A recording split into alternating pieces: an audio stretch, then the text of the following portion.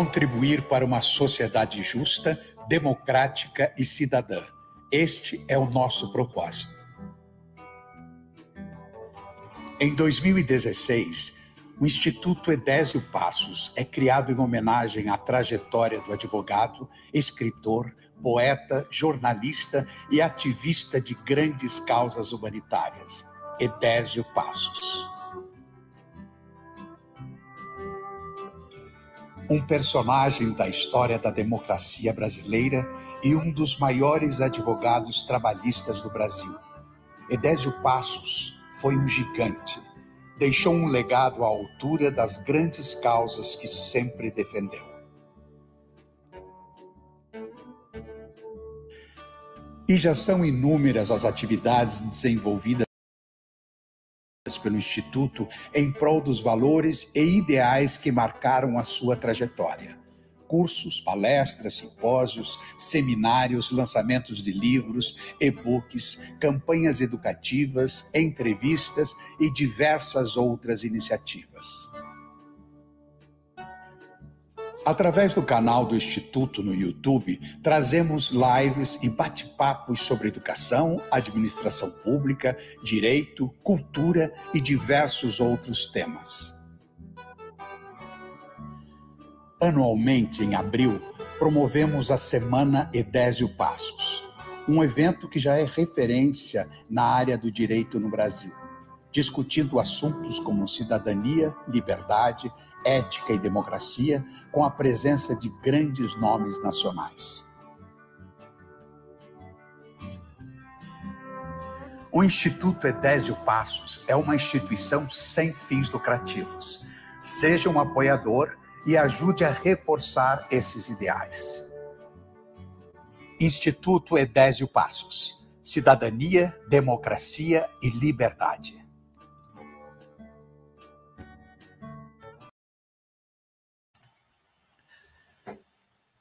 Boa noite a todos e todas. Né? Eu tenho a honra, o Instituto Edésio Passos tem a honra de receber nessa quinta semana Edésio Passos, que é em toda a primeira semana de abril, desde o dia, desde 2017, para comemorar a vida, mas em especial o legado, os valores, não só do Dr. Edésio, mas de todos os homens e mulheres brasileiros, latino-americanos que lutam e sonham por uma sociedade justa, fraterna, é, e nós usamos essa, esse momento de abril para uma reflexão sobre as questões importantes e convidamos pessoas que para nós são muito caras e ah, temas é, fundamentais, em especial o tema da democracia.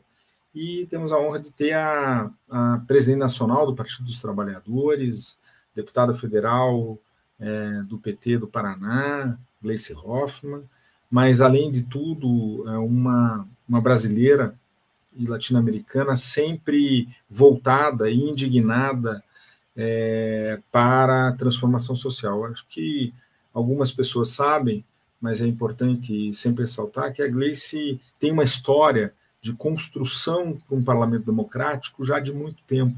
A Gleice foi liderança do movimento estudantil secundarista na cidade de Curitiba, é, na União é, Metropolitana de Estudantes Secundaristas de Curitiba, depois fez direito na Faculdade de Direito é, de Curitiba, e nesse momento, já para, junto com os movimentos populares sociais, em especial pensando numa cidade mais justa, mais inclusiva, foi é, ser advogada para incluir essas pessoas, em, em especial na reforma urbana, e também se especializando em contas públicas e orçamento, foi trabalhar com Jorge Miguel Samek, na época vereador do MDB, e depois foi para o Partido dos Trabalhadores, e já na Câmara Municipal, sendo uma assessora brilhante, já foi reconhecida não só pelos movimentos sociais populares, e foi para o Congresso Nacional, na né, Gleice,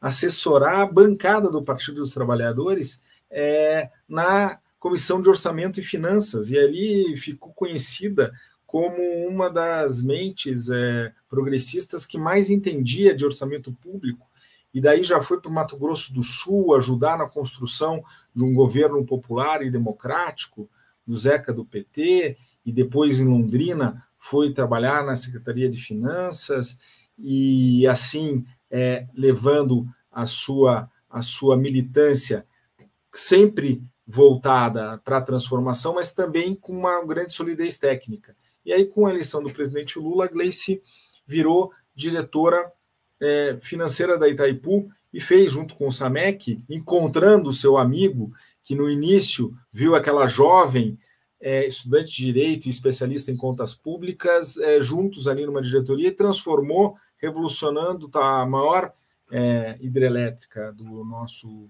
país e do mundo num grande projeto de inclusão ambiental, social e fazendo o que infelizmente hoje não é feito, que são empresas públicas com projeto nacional de desenvolvimento.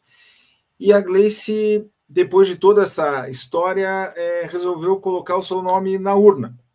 E aí veio uma parte que talvez nem você, Gleice, pensasse que ia ser tão acolhida.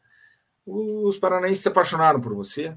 A Gleice quase ganhou a primeira eleição que ela disputou ali no Photoshop, quase ganhou para o Senado ali. Começou com 2%, quase ganhou, já, já ficou os paranaenses encantados, hoje que o Brasil todo já sabe o quanto isso é punjante. Depois conseguimos te eleger primeira mulher senadora eleita é, pelo estado do Paraná, né? foi nossa ministra e hoje é uma das cabeças mais influentes no Congresso Nacional é, para pensar, de fato, a importância de nós termos um projeto de país, mas também resgatarmos um importante parlamento. O parlamento brasileiro conseguiu fazer uma constituição cidadã tão importante, mas que hoje, infelizmente, tem feito retrocessos complicados, como a péssima legislação trabalhista que foi feita, a reforma eh, previdenciária que acabou tirando direitos e a resistência de um conjunto de homens e mulheres que estão no parlamento hoje com a Gleice, ela é necessária, mas acho que nós temos que ir além. Nós precisamos de um parlamento de fato, de fato democrático. E nessa caminhada, Gleice, queria ouvir a sua história e a sua reflexão sobre nesse momento que o mundo vive de muita tensão é, e em especial de esperança no Brasil, como você vê a possibilidade de a gente resgatar o parlamento para os brasileiros. Muito bem, boa noite, André. Prazer muito grande falar com você. Boa noite a todos que estão nos assistindo nessa live e que acompanham aí é, essa homenagem, né, de aniversário do nosso querido Edésio Passos. Parabenizar o Instituto Edésio Passos pelas atividades, pelos debates que tem fazendo, vem fazendo. Sei que recentemente vocês fizeram atividades com o Instituto Lula, muito importante para discutir aí a questão do trabalho, a modernização do trabalho. Tem o, o Instituto Edésio Passos, com a sua condução, André, tem contribuído muito para a reflexão de temas muito, muito importantes. Então, quero cumprimentar você. Cumprimentá-lo também por sua trajetória. O André falou da minha aqui, mas ele também tem uma trajetória muito é, é, forte, né? uma trajetória de militância, de luta política, uma trajetória foi nosso vereador, com uma votação muito expressiva, um grande vereador. Infelizmente, decidiu não estar mais na política, mas eu espero que ele reveja essa decisão dele aí no futuro mais próximo, porque faz muita falta, viu, André? Olha, Gleice, não é o momento de pedir votos, mas a minha atuação na política, você sabe que é ao seu lado pedindo votos para você. Não, mas tem, tem função aí que você tem que estar junto também, mas um dia ainda vou te convencer, vamos ver lá. Mas eu queria também fazer referência ao Edésio, né? O Edésio é uma figura histórica nossa, fundador do partido aí no Paraná, uma pessoa que sempre foi referência para a gente na militância, um dos advogados trabalhistas mais brilhantes, né? Porque não era é, só advogado trabalhista, ele era uma liderança política e entendia, né, da luta dos trabalhadores. Uma, o Edésio foi referência para nós no Paraná e no Brasil, né? no Paraná e no Brasil. E eu tive a honra, André, de trabalhar com seu pai, com o Edésio, na Itaipu Nacional.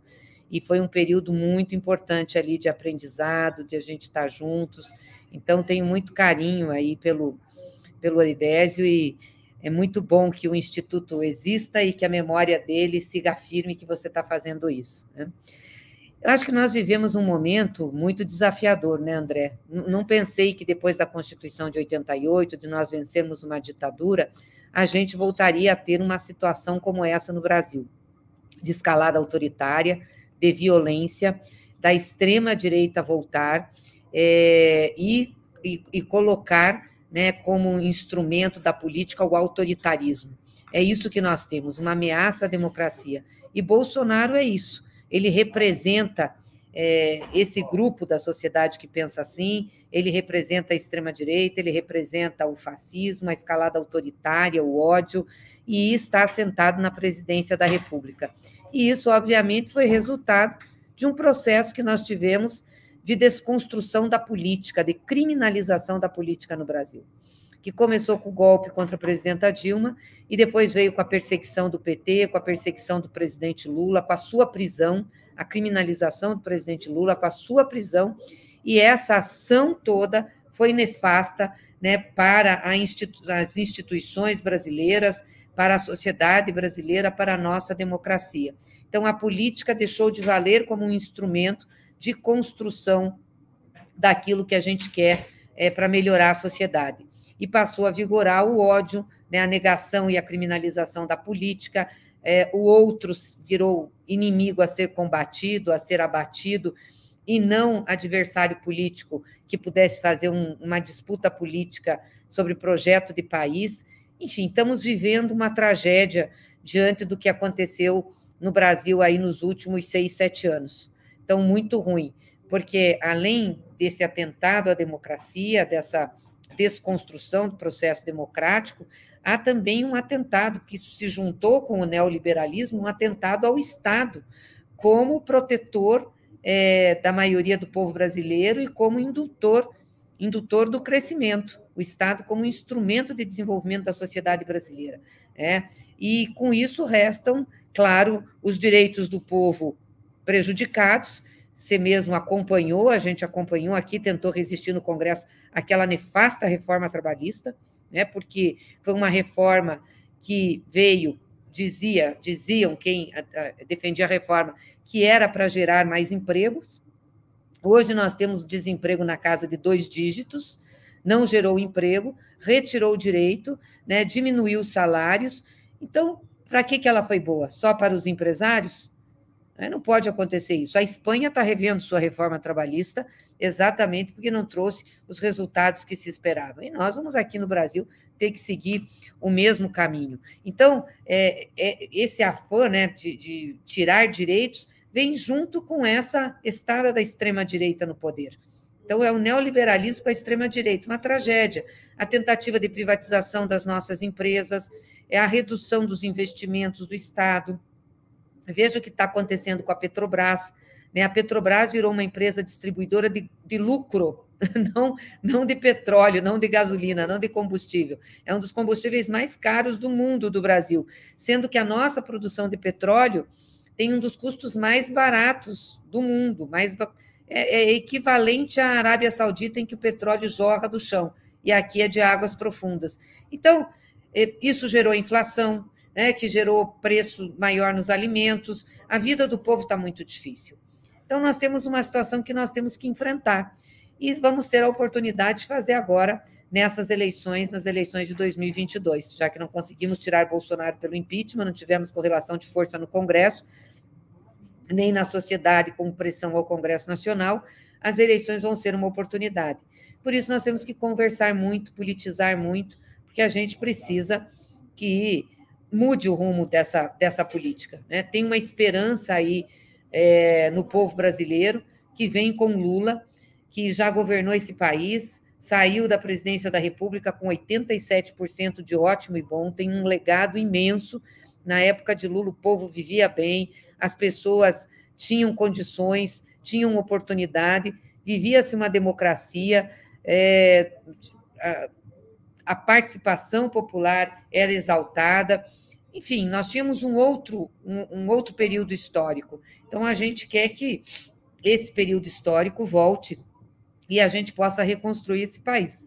Mas você falou uma coisa importante também: o Congresso Nacional. A gente não consegue fazer a reconstrução do país se nós não tivermos no Congresso Nacional uma base que tenha compromisso com a democracia, com o desenvolvimento do país, com a soberania nacional Hoje, o que a gente vê é que as reformas que foram feitas foram feitas no Congresso Nacional. A reforma trabalhista, a reforma da Previdência, o teto de gastos, tudo aquilo que prejudicou o povo até agora foi feito no Congresso Nacional.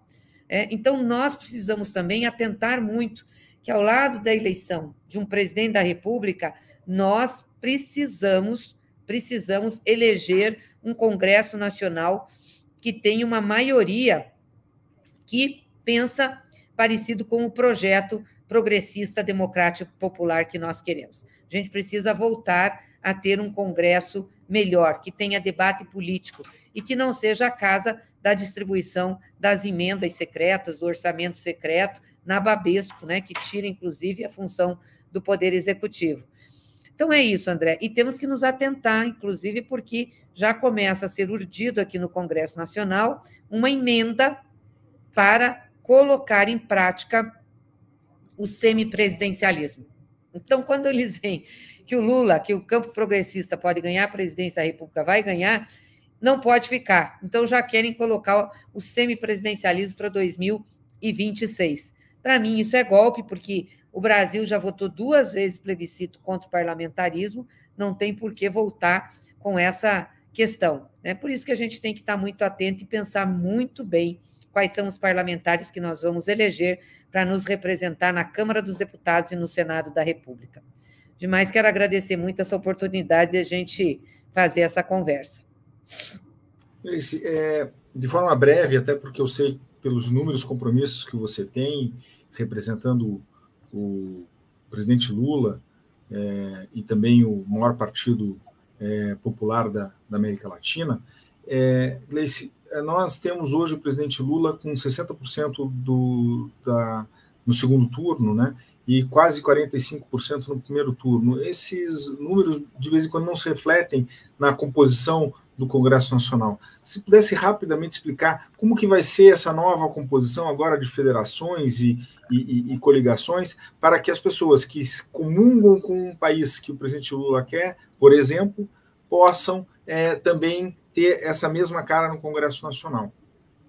É, nós queremos fazer uma campanha para o time do Lula, sabe, André? Dizer assim: olha, os deputados desses partidos, dessa coligação, estão com o Lula, então é importante eleger Lula, mas é importante eleger parlamentares comprometidos com Lula, o time do Lula. O PT está fazendo uma federação com o PV, com o PCdoB, é, já aprovamos o nosso diretório, estamos constituindo a federação, vamos também e estamos fazendo conversa para fazer coligação que apoiará o Lula e que também terá nos estados aí candidaturas a deputados federais e estaduais com o PSOL e com a rede, é, e estamos também fazendo coligação com o PSB de bola, né? Que vai participar da coligação. E a gente quer deixar claro em cada estado, não só pelos partidos, mas pelo número né, de deputados, apresentar a nossa chapa e dizer assim: olha, essa chapa aqui é que está com Lula. Então a gente pede voto para Lula e para essa chapa. Porque às vezes acontece da pessoa dizer, ah, vou votar no Lula. Mas daí chega na sua cidade o prefeito ou um outro pede, não, mas vota nesse deputado, que é meu amigo, ou o prefeito porque ajuda o município. Então, eu quero pedir, procurem ver qual é o candidato a presidente que esse deputado está apoiando e o que, que ele pensa sobre vários temas, sobre direitos dos trabalhadores, sobre o direito do povo brasileiro, sobre soberania, né? porque senão a gente elege deputados que não estão, não estão comprometidos com essa pauta. Gleice, eu queria agradecer em nome do Instituto, em nome da minha família, né, também, porque é uma homenagem ao Edésio no seu aniversário, e em especial em todos os homens e mulheres que acreditam num país justo e fraterno. E nós fizemos na Semana Edésio Passos, a gente sempre oferece uma comenda para as pessoas que participam da Semana Edésio Passos. E então a gente vai entregar fisicamente para você, mas a gente fez virtualmente aqui para fazer essa simbologia, mas depois ele vai lhe entregar bem bonito, uma pasta bonita, tal. Mas o mais importante é o conteúdo. Você sabe que meu pai sempre, ao finalizar os textos dele, escrevia um abraço fraterno, né? Então o nome da comenda é, é um abraço fraterno. Então Gleice Hoffman receba através desse certificado o nosso simbólico abraço fraterno, uma homenagem ao modo como o Edésio assinava seus textos, reconhecimento da sua colaboração e participação na quinta semana do Passo. Então, muito fraternalmente, desejando muita energia, paz, força para você, que é uma guerreira do povo brasileiro. É, nós, do Instituto, desejamos um grande abraço fraterno, uma grande luta e energia para que a gente possa fazer as transformações necessárias no nosso país e na sociedade. Muito obrigado, Gleice. Obrigada, viu? Me senti abraçada aqui. Muito obrigada, André, pelo carinho, muito obrigada sempre pelo apoio, por você estar nessa caminhada. Parabéns por sua caminhada, mesmo você não estando mais né, em cargo público, na disputa pública, você é uma grande liderança nossa, um grande advogado, uma pessoa que a gente tem muita referência e faz um excelente trabalho, viu? Continue assim, muito obrigada pela comenda, um abraço aí a todo o pessoal do Instituto Edésio Passos e um abraço muito grande a quem nos acompanhou até agora, né? E parabéns aí pela quinta semana Edésio Passos. Beijo grande. Um abraço a todos e todas.